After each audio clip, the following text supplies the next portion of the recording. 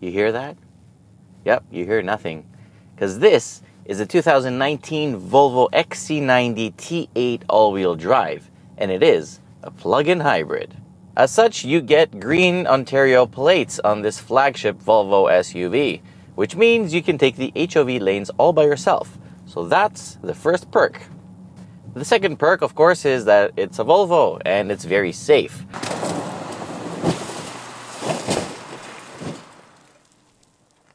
So if this car is intended for you and your family, well, it's it's pretty much a tank. It is loaded with every single feature for safety you can imagine, and it did really well in the IIHS crash test. So it is as safe as a car can be.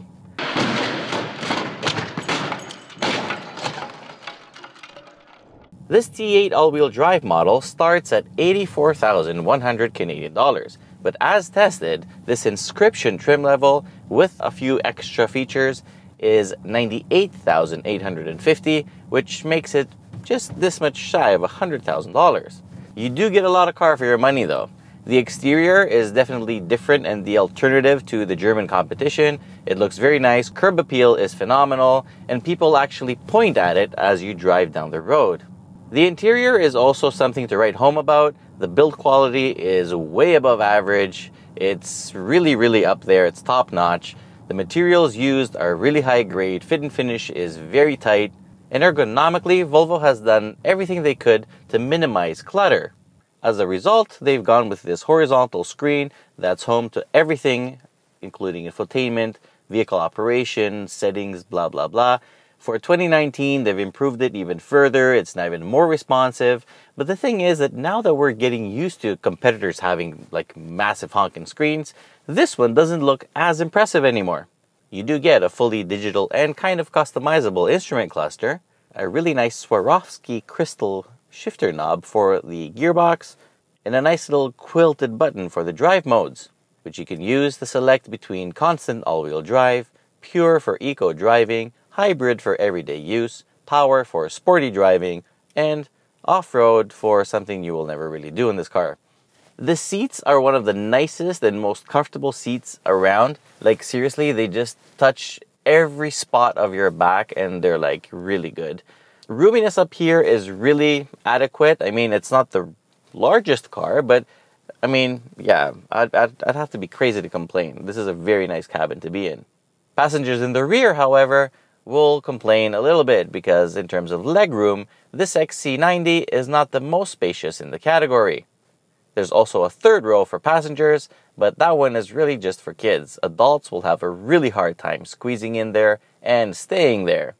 You can stow away the third row and use the car as you'd really like it to be, which is with a massive trunk. It has a 1,183 liter trunk. Ha, beat that.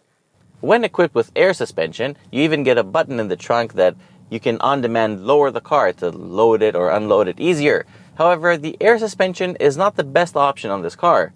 Like this, without it, it's actually better.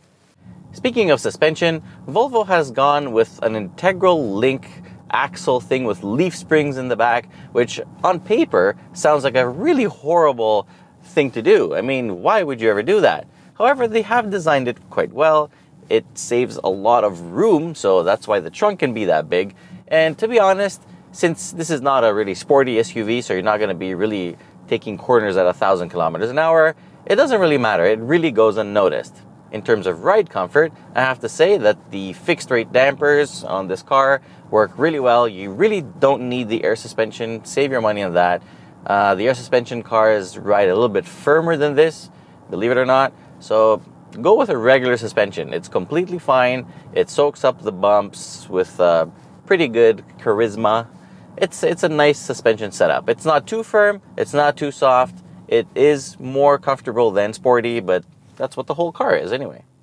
The cabin is very well insulated, so this is generally a serene and very quiet cabin. It is luxurious. It's it's a very nice place to be. However, when you put the car into power mode, which means okay, no more hybrid stuff. Give me some power. The four cylinder does get a little bit loud. It has a little tiny whine to it, so that's a little bit entertaining, but it's not the best sounding motor in the world. And it, it kind of contradicts the whole thing of the car. I mean, it's much nicer when it's quiet. In power mode, the steering firms up a little bit, and then it's, it's nice that the car is not too big because it kind of feels like it could be sporty. So, as long as your steering angle isn't too sharp, so you're not asking too much of the car, it does feel nice to drive. I mean, it, it, it points with adequate precision. If you do drive it harder though, and you try to throw it into corners, it will lean and it will definitely tell you that I'm unhappy doing this. Can you please slow down? Think about your family in the back seat, which I'm protecting so well. Don't be dumb. So, handling, it's good, it's sure footed, it's able, but it doesn't really like doing that kind of stuff. So, handling, sportiness, not here. An option you should definitely go for though is this Bowers and Wilkins sound system.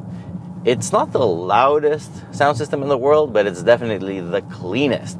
So if you have good, elegant taste in music and you don't just listen to like thumping beats all day long, you're really going to appreciate this sound system.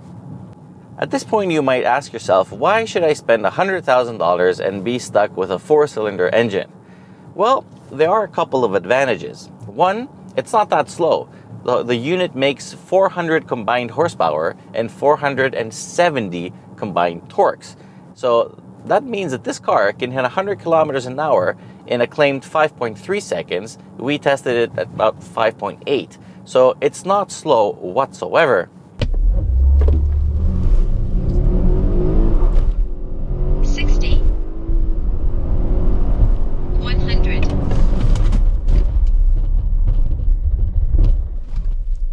The big advantage, though, is not performance, it's fuel economy. We've been driving this mostly in the city for the past week, and we're still at 11 liters per 100 kilometers. Once you hit the highway, that goes down to 8. So, for a vehicle as big as this and as powerful as this, that fuel economy is stupid. So, let's break it down a little bit. The 2.0 liter four cylinder engine makes 313 horsepower and 295 pound feet of torque. However, that's combined with an assistant powertrain, which is of course electric.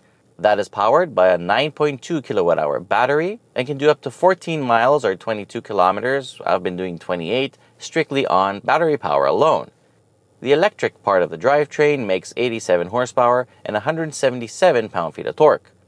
This thing might not be designed to go off road, but being an SUV, it means you can tow up to 5,000 pounds. And who doesn't want to tow stuff when they buy an SUV?